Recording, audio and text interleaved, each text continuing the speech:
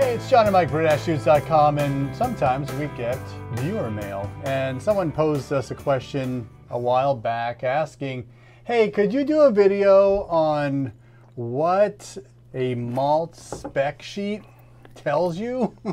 and how should I use that if I have one in front of me like this one in you know, understanding what it's saying and how I should apply that information to my brew session. So I tasked Mike uh, because a lot of this is scientific Oh, analysis. science, science. so um, he's going to take us through. Uh, I think we're looking at one from Briess Malt. Yep. Um, and this is for their uh, brewer's malt, one of their uh, base malts, I'm guessing. Um, so I'm, would you say that spec sheets go with any malt type? So it doesn't have to be base malt. Every lot of malt produced by any supplier has a one of certificate of analysis. Nice. This is not a certificate of analysis, but, It's a product information. but it's a product sheet? information Okay. sheet, and I'll explain that in a bit. Okay, so let's talk about uh, if I were looking up malts and I wanted to learn more about them, what can I glean from this product information? sheet? Practically nothing. Oh God! No, Great. seriously, seriously. Okay. As a home brewer, like these, there are certain luminaries who have talked about these things in the homebrewing world, but um, the information provided on this sh- on this type of sheet, Okay. um, 98% of it is relatively meaningless to the homebrewer. These sheets are made to um, to uh, relay information to uh, industrialized mega breweries Okay. that are interested in one thing: uh, efficiency. Yeah. And not just not, not not like your mash efficiency or brewhouse efficiency, but total efficiency, where a shift of one or two percent could mean hundreds of thousands of dollars in production costs. But for the home brewer, that might equate to 50 cents for you. So so it, it just most of this stuff is unimportant, but it is interesting to look at it to understand a little bit about your malt and where what these numbers mean so you can be conversant in the ways of, of malt. We talk a lot about hops, humulones, cohumulones, and all that jazz, but so you should really know something about malt. Yep. I will point out on the sheet the one thing that you you can use as a home brewer, but let's go through it. So Yep. there's two things in the world. Another reason why these sheets are really not something to concern yourself with as a home brewer is that we're looking at a product information sheet, which has a lot of the, the same data that a C of A, a certificate of analysis, would have. But your local homebrew shop is opening up sacks upon sacks of malt. Maybe they're all from the same lot, maybe they're not. When the grain bin gets low, they pour the next sack in, so it's starting to mix a little bit. Sure. Okay. Um, and more importantly, to really make use of this information, you need the the C of A for the lot of malt that you have. And most of the time, the homebrew shop doesn't have that. It's not that they can't get it; they just don't. It doesn't come like in every sack. Yeah. They have to seek it out, like when they ordered it. Again, we're talking about silos of grain, and that's when it becomes important. So, um, but this has a lot of the important terminology and the numbers on it that you would see in, a, in another um, in a C of A. You can get your C of A's, but you have to match it up with the grain you're using. So, Yeah. so let's just start. So what I pulled down was a um, brewer's malt from Briess, which I really like. Brewer's malt. It's just a pretty standard American two row malt. Um, let's just look at so typical analysis. Yep. So words, terms like mealy, half, and glassy. There's three different percentages there. Um, that refers to really how much of the kernel, each individual kernel, has been malted.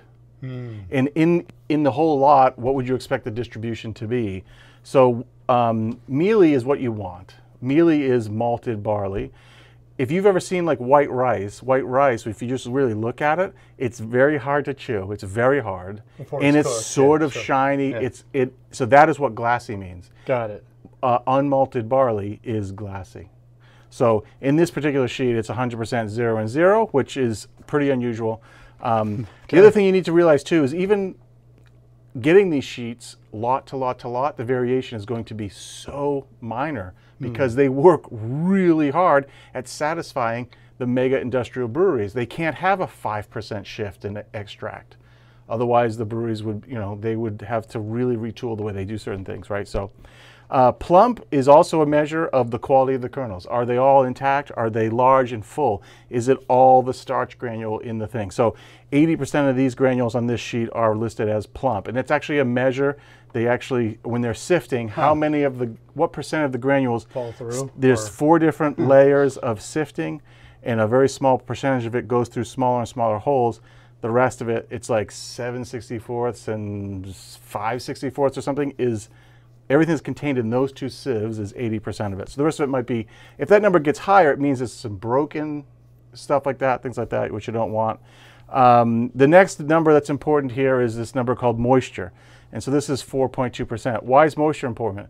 If moisture goes up, right, by 10%, so this is 4%. If that was to go up by 10% and then be 4 point, this is 4.2, 4.6%, that doesn't really mean much to you and me, but a 10% shift in moisture means if you weigh 10 pounds and there's a 10% shift in moisture, you've actually only got nine pounds of what it was before it picked up that moisture, right? So you can see now how pretty quickly that becomes an issue Yep. at the big guys. Sure. Um, so um, then there's these other two things: extract, dry basis, well, FG, which is fine grind, and CG, which is coarse grind.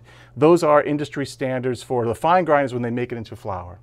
And the extract for this is at 81% for fine grind and 80% for coarse grind, dry basis, which means they really dried out. They take that 4% out. So when you see dry basis, that 4% moisture, they just heat it until it's really super dry.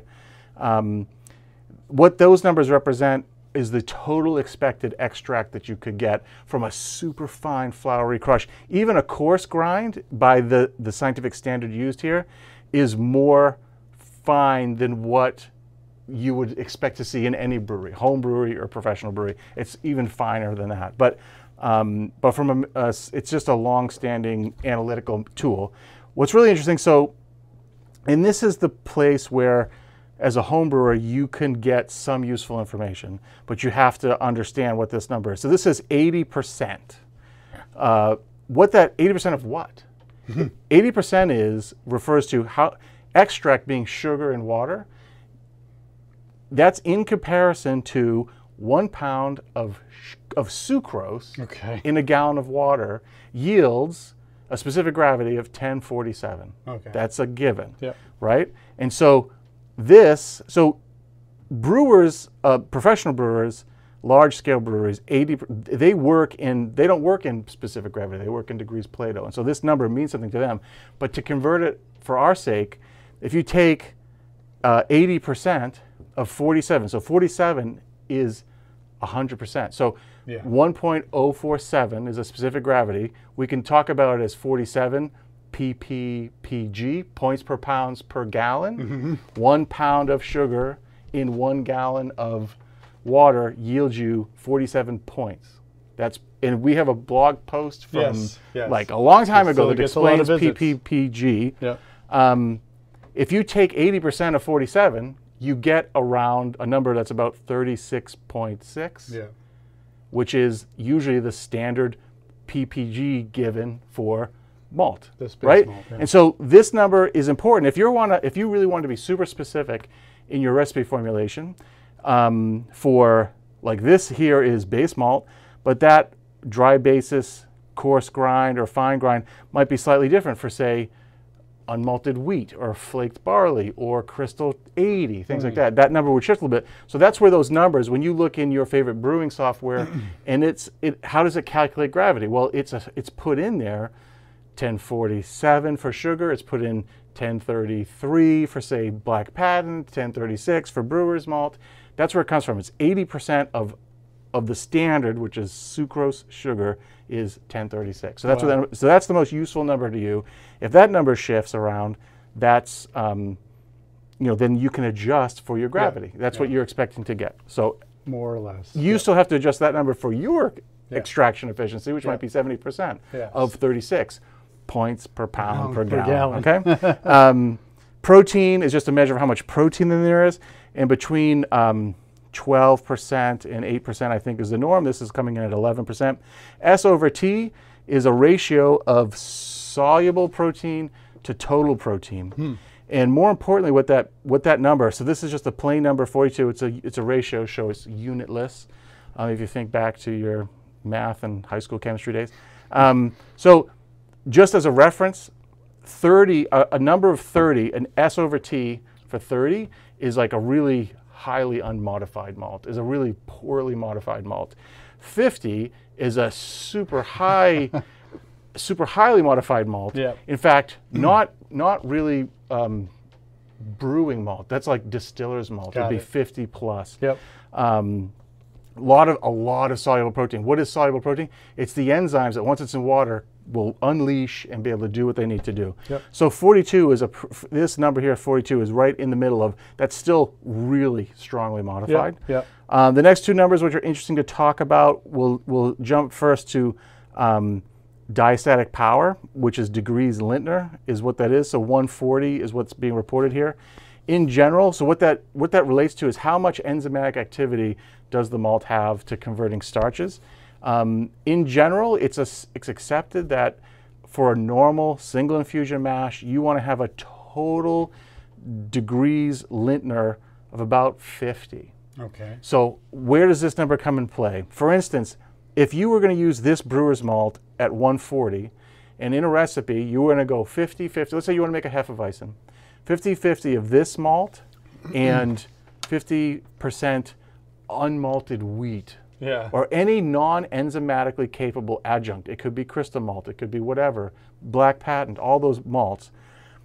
If you were to go 50-50, the amount of Lintner, the amount of diastatic power you have now in your mash is half that, right? 70, which is still above 50. The closer you get to 50, it's still doable. Think, for instance, um, uh, like Munich 10 usually has a diastatic power, power of about 50 to 60, maybe 70. But if you, so if you wanted to make a Munich, a full Munich Dunkel beer, Yeah. where you used all Munich malt, and maybe a little bit of coloring malt, you could potentially be pushing that Lintner down to 50. And all that means is your mashing probably is going to take more time. At a, at, at a, at a diastatic power of 50, you might be pushing yourself to needing definitely more than an hour of, of mash at low temperature too. So um, that brings us up to alpha amylase. This is listed at 72. I don't remember exactly what the units are. Of, of that's not a percentage. It's just how much alpha amylase power there is. Um, alpha amylase is looked at as being is the one that clips from uh, slashes up all the branches That's and allows an enzyme, right? it's yeah. an enzyme. It, so alpha amylase and beta amylase are the two primary enzymes taking big starch molecules and making them into sugars. sugars. Starch is just a big chain of sugars, and those chains are branched as well. Beta amylase can only work from the ends, and when it hits a branch point, it doesn't know what to do. Hence, alpha amylase comes in and uh, breaks up the chains. So when you see uh, di- so here's an interesting too. Remember from all of your brewing books and all this um, accepted knowledge base that like how do you adjust like fermentability and mouth mouthfeels with mash temperature, right? The modern day malts at 140 degrees Lintner completely convert in about 20 minutes, and they have so much alpha amylase power in them that no degree of temperatures, it's like turning a knob with nothing behind it. Hmm. So I've noticed in my brewing, right, that it almost doesn't matter whether you mash in at 158 or you mash in at 142. You sort of get the same output on the FG pretty close. The only thing that changes it, if you were to be fair about it, is the other types of grains you put in there, meaning non-enzyme capable adjuncts, Got it. will can change your fermentability. So adding in a lot more crystal malt tends to give you a higher FG, not because um, you played with the mash temp. You might very well do that, but it really has to do with how much how much diastatic and alpha enzyme power you have to do it. So um, that's a really interesting thing to note. There is that most of these malts are super super able to convert. You just get them wet and they start converting, and your mash temp almost really doesn't matter. I challenge anybody to just start playing with that reality. Take your favorite recipe that you've been brewing at 154 for years and mash it at 148, and you're probably going to be hard pressed to see a difference in the beer because of these industrialized malts. It's definitely true that these enzymes work at different temperatures and do different things, but these enzymes get away from you so fast that um, remember, dig, dig, uh, diastatic power accounts for beta and alpha amylase. It's not right. So there's just so much enzymatic activity in the modern day malt that you don't have it. Now that being said, my knowledge base is based on everything I learned about malt, say 10, 12, 15 years ago. But there's a lot more craft malting going on where you might see these numbers be a little bit lower, which actually allows you to use some of those other levers in your mash regime or your liquor to grist ratio, which has zero influence on beer today because of how convertible these malts are. Um, but a lot of great specialty malts are coming out. I don't mean specialty by flavor, just even those really good um, craft base Yeah, malts have, have more effect here. Small maltsters across the country. Yep. And um, so the last piece is color. This is coming in at 2 SRM color. I don't need to explain that. This is SRM, so as homebrewers, we can relate to that. Thank Yep. God it's not EBC or something. Yep. Um, so anyway, um, moisture, you want to keep an eye on moisture. So uh, what do you do with all this information? As a homebrewer, the only thing you really care about is extract and how much sugar are you going to get out of a pound of malt. And then the other thing too is uh, maybe a little bit you want to think about moisture because moisture is what causes malt to go slack. They call it going slack. So if you have malt that the malt when you bite into a piece of malt, it should be somewhat crunchy. If it just sort of fades as you bite into it, if it doesn't really give you much resistance, um, it's probably picked up more moisture. And malt will naturally slowly equilibrate in a high moisture environment. Like if you live in the south in the summertime, super humid, it gets pretty humid here. You want to keep your malt in a, pl- in a plastic, really well sealed bag. Um, you want to keep it as airtight as possible so it's not absorbing moisture from a humid environment. But the best way to test for that at home is to just taste it before you brew it. And if it's getting soft, it's probably losing um, it's picking up too much moisture, Yeah. which will throw off your efficiencies a little bit actually, Yep. because you're going to weigh it out and think you have a certain amount, but you don't. Um, and then the last little bit, uh, bit of that is um, always get your malt. It really pays to have a mill at home, or if you're going to crush at the homebrew store, Use it fast. do it in a way that you're doing it and bring it home. If it's a hmm. super humid time of year, you definitely don't want to be letting, because now you've exposed all that starch and endosperm to air, and it's going to absorb moisture even faster. The Yeah. husk does a really good job of protecting. Mother Nature does a really good job of protecting those kernels. So. Uh, anyway, that's like a whirlwind Yeah. tour Well, of lots of looking at a malt analysis sheet. And it's all about the extract, uh, the dry basis, and moisture, just in your home brewing practice, because that can, those those two numbers can really affect um, the outcome. what you're your beer. expecting to get. But as a home brewer, you know, if you're trying to brew a 1054 beer and it comes in at 1051, jumping on the forums and being like, "What happened?" It's probably you know, you, you- I bet there's probably more error in your measurement uh, accuracy tools than there are in in, product in the itself, actual yeah. process. And one more thing about extract is you might actually see this is dry basis. Sometimes you might actually see it listed as is, Ah. which is accounts for the moisture at the time of, of whatever. The check. Yep. Cool. All right. Well, that I hope was very informative. Um, there's definitely a lot of information on these product information sheets that come along with your malt. So uh, hopefully that helps you to understand what the uh, stats are saying and how you can use them.